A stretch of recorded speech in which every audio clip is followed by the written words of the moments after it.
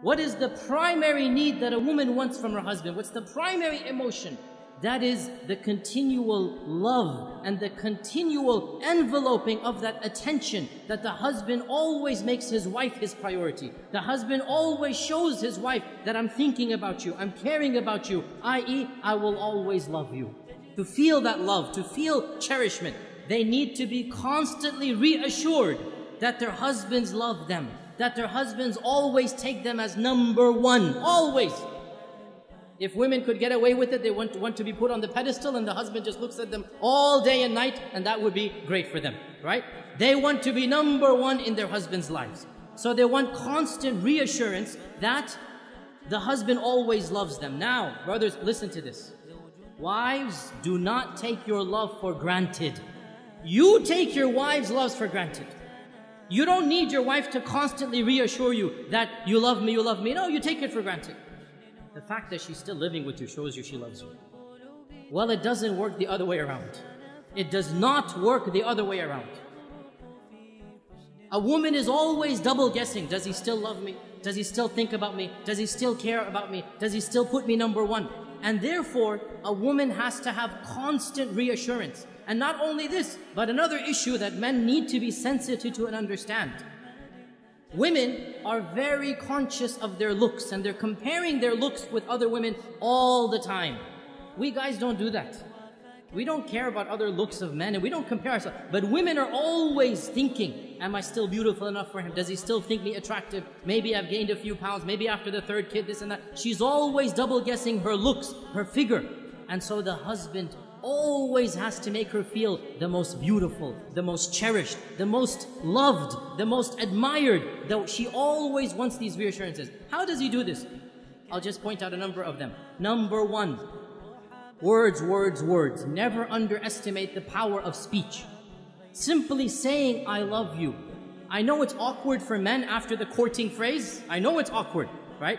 But believe me, it never goes out of fashion. For women, it never goes out of fashion. They always love to hear this phrase. And in fact, there are da'if hadith of our Prophet, it's a bit da'if hadith, but it's a, still mentioned in our books that our Prophet and Aisha were joking once, and Aisha said to the Prophet, Kaifa hubbuka? How much do you love me? How is your love for me? And our Prophet said, and he gave a beautiful, metaphorical, poetic expression. He said, My love for you is like the tight knot that cannot be unbound. My love for you is like the tight knot that cannot be unbound. So then, in the future, sometimes if they would have a bit of an issue, a bit of an argument, one of the two would remark, How is the knot right now? How is the knot right now? And Aisha would say this when the Prophet sometimes got irritated. How is the knot? So he would smile, he would say, as strong as it ever was. Right? And this hadith is in Daraqutni. Now the point being that the words, I love you, are something very important, but not just I love you. Praising her and what she does. Husbands, never take your wife's actions for granted. Suppose she is cooking and cleaning most of the time. Never take it for granted. Always, once in a while, come and compliment her mashallah, that was great. You know, I really appreciate what you're doing for me. Those words, they go a long way. Your wife realizes, you know what, he's not taking me for granted. Very important. Praise her looks when she dresses up, when she does something extra special for you. Never take it for granted. Husbands, you all know the big danger of forgetting anniversaries, right? You all know how dangerous that is. Why do women want you to know their anniversaries? Because it makes them feel you still love them makes them feel he still remembers me, he still cherishes me.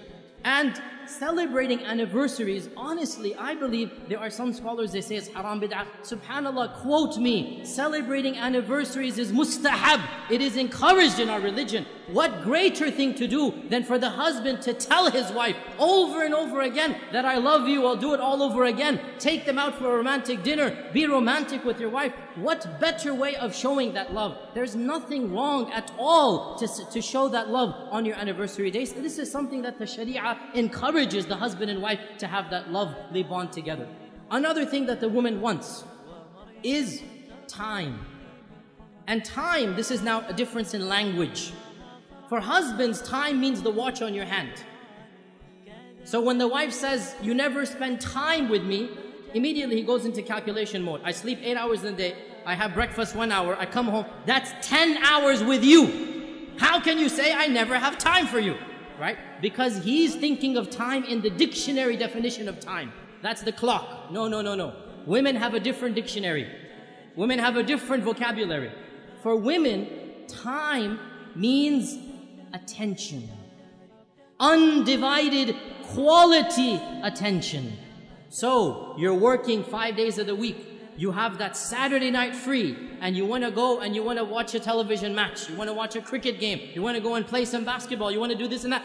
That is quality time. And you have just shown your wife when you have quality time, you don't want to spend it with her. So what does that mean? You never go out with the guys? No, of course you have to go out with the guys.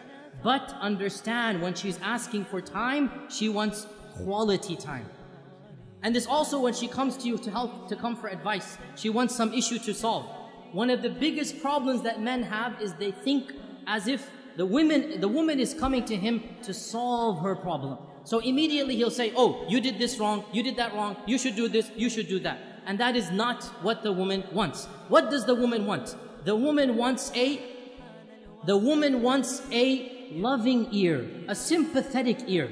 She wants somebody to listen to her problem, to be sympathetic to her, not necessarily to solve her problem. This is quality time. To express that whatever she went through was frustrating, was problematic, and inshallah, they will work it out. You have to give what the woman wants, and in return, she will give what you want. When the man gives love, when the man gives that, what we call romance, and romance is nothing. Men, men think romance is a very dangerous word. They never want to use it, right? All romance means is you show her you're thinking about her. You show her you're caring about her. Husbands, the phrase I love you, giving roses, remembering the, the, the, anniversaries, taking them out, spending quality time. This is what romance is. When you give the wife the love, you make her feel like she's number one. Guess what? She'll make you feel like you're number one. And so the both of you make each other feel like number one. And that's exactly what marriage is all about.